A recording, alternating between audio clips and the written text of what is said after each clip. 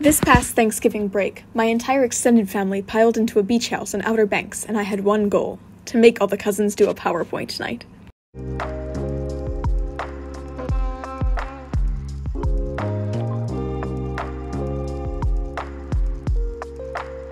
I was also able to watch Harry Potter for the first time since I just recently read the books, and it was super magical.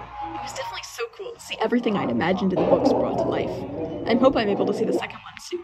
Then my family drove around the island and found a cute Christmas store with trees and snow globes and everything. I couldn't help but take a few videos because it was so wonderful.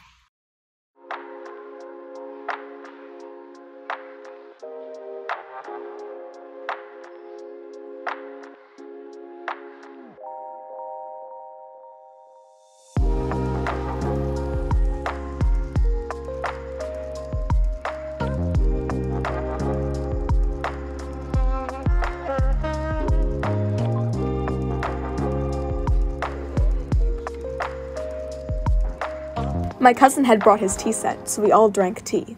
It was very peaceful. Finally, I broached the subject, and most of them agreed. We all started on our PowerPoints and decided on doing the topic of our past crushes.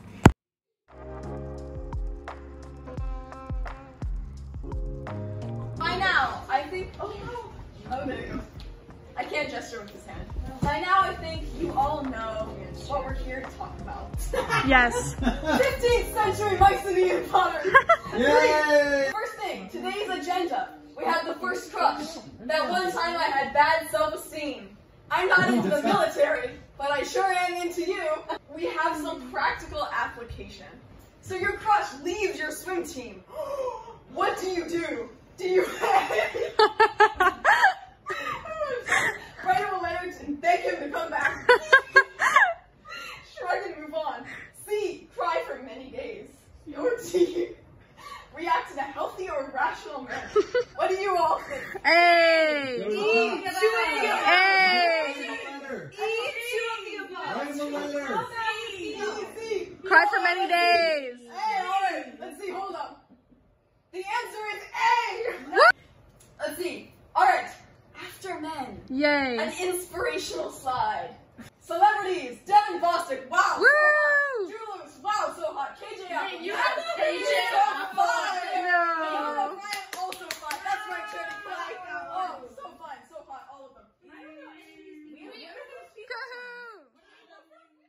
Anyway, and then Big Time Rush was back together and in the Macy's Day Parade. So, like, all in all, a perfect Thanksgiving.